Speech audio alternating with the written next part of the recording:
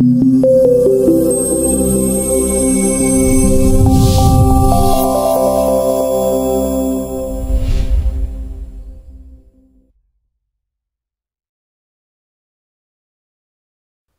guys, what's up? This is Tom from TTT Tom's Tech Time. Today I'm going to show you the best settings for aerial footage that you can shoot with the Phantom uh, in combination with the GoPro Hero 3 or the GoPro Hero 3 Plus. But I would always recommend the 3 because it's sharper a little than uh, the 3 Plus. The 3 Plus is sharper when you have close objects like your face when you're filming yourself from helmet and the 3 is a little sharper in the wide field. So now let's check out all the details. So let's first off start the camera. So now the camera is up and we can see the small screen telling us some interesting stuff, that we're going to come back to that later.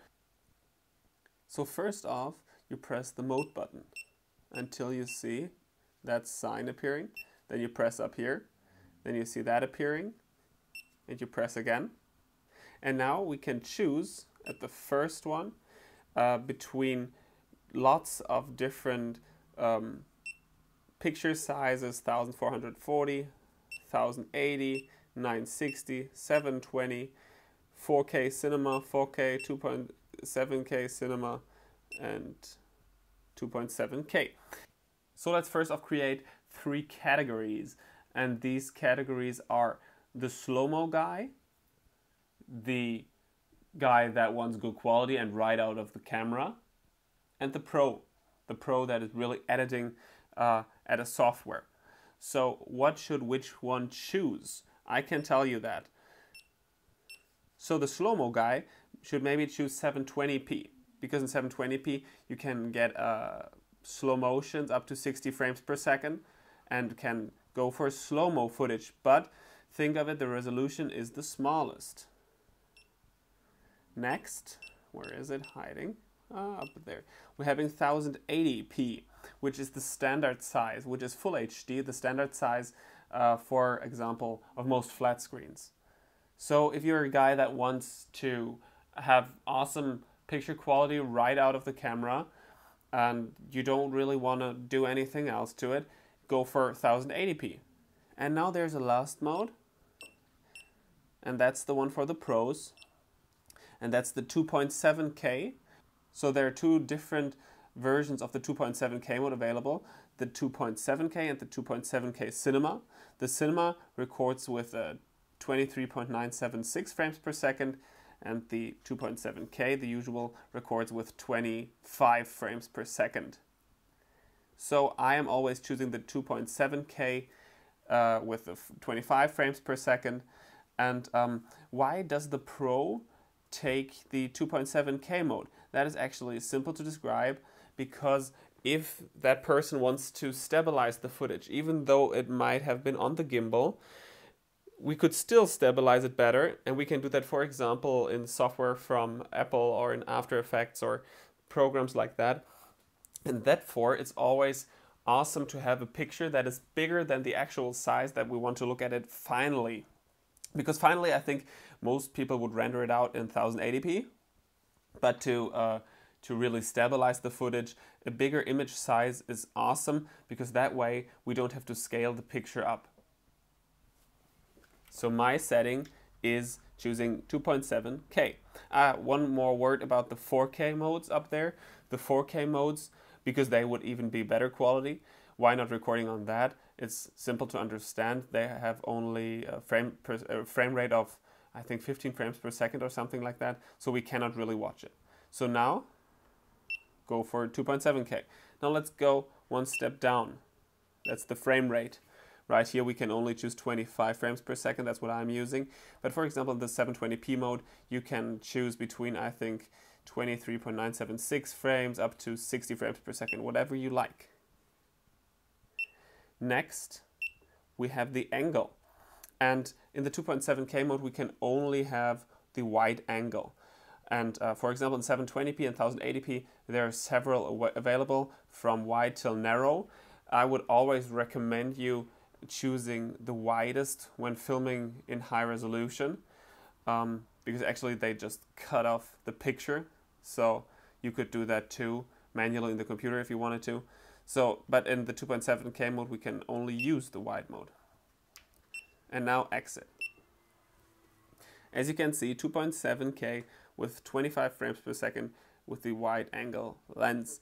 And up there you can see ProTune is turned on. So what is ProTune? Let's first look for it.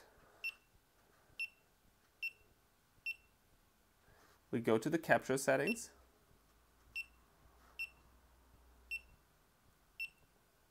And right here we find ProTune. And we can turn ProTune either on or off. And that is actually somewhat simple as well. ProTune is something that gives your picture a different look. Again, the question is, are you rather the pro guy or are you the usual consumer? Um, saying, do you want to have awesome, stunning quality pictures right out of the camera, or do you want to go for it later in post pro? So, because in ProTune, there really there are less colors, there's less contrast, and that is actually that uh, somehow makes a it creates like a gray grayer picture, but you can go for a better editing afterwards. So I'm always having the ProTune mode turned on.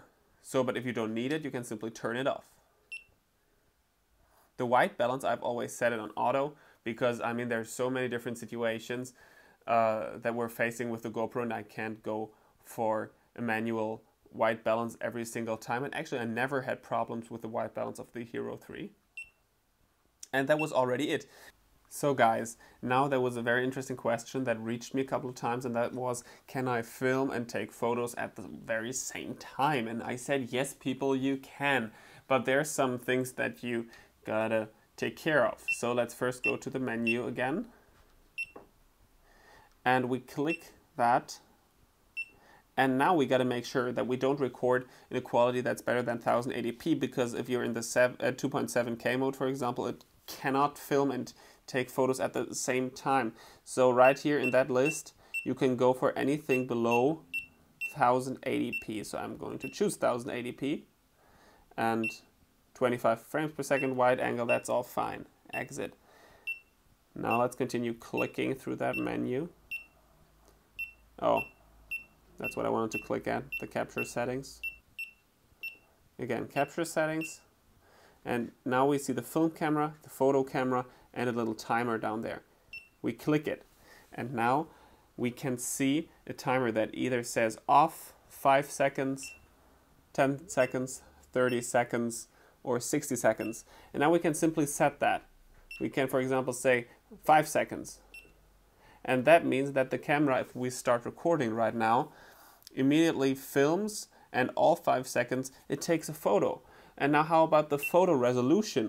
If you want to know about that. Uh, yeah, and remember one more thing, you got to turn ProTune off as well for using that mode.